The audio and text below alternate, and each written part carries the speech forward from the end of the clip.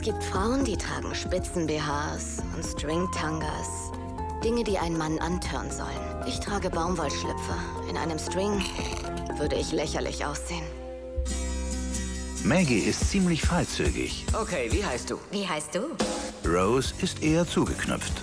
Au, was soll denn das werden? Ich will dich mal mit hochgesteckten Haaren sehen. Das tut weh. Es ist den Schmerz wert. Zwei Schwestern, die nichts gemeinsam haben. Such dir einen Job, Maggie. Es gibt jede Menge Berufe, die nichts mit Sex zu tun haben. Offensichtlich, sonst wärst du schon verhungert. Außer ihrer Schuhgröße. Meine Jimmy Choos. Ist da? Nope.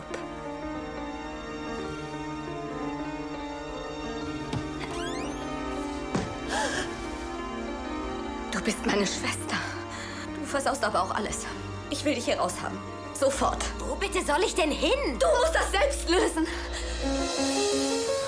Mrs. Lefkowitz, das ist meine Enkeltochter Maggie Feller. Hallo.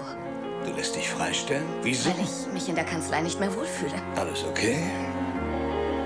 Wer ist Rose? Schon mal was von Privatsphäre gehört, Dora? Und das von der Göre, die sich eine Briefmarke auf den Hintern klebt und das dann Badeanzug nennt. Ich dachte, Sie lieben Ihren Job. Ich hatte Angst, als wenn mir nur diese Sachen wichtig sind. Also, was ist Ihnen wirklich wichtig?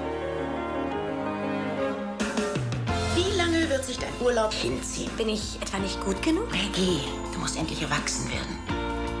Ich habe keine Ahnung, wo meine Schwester ist. Meine beste Freundin. Im Haus für betreutes Wohnen wird eine Aushilfe gesucht. Sind wir uns schon mal Der begegnet? Spruch ist ja wohl ein bisschen alt, finden Sie nicht? Das ist Ihr Sternzeichen.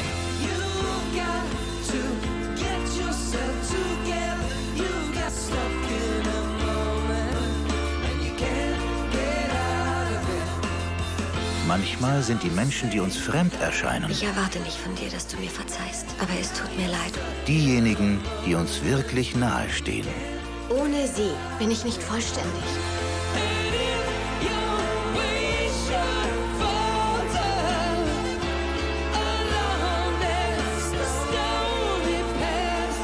In den Schuhen meiner Schwester